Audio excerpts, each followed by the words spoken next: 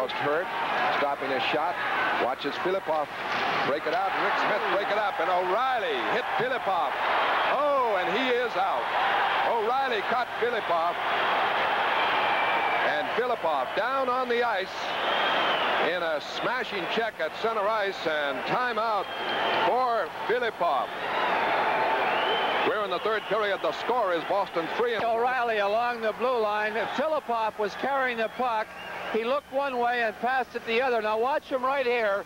Here he's coming through the center. Now he's going one way, but he's going to pass it the other way. Now right at that moment, you see his head is, is blocking O'Reilly out right here. And here's O'Reilly with a check up and over he goes. And I'll tell you, O'Reilly was just cruising. He could see him, but he looked the other way to pass the puck to that right wing side. And as he did, he took his eye off O'Reilly or whoever was coming from that side. It could have been John.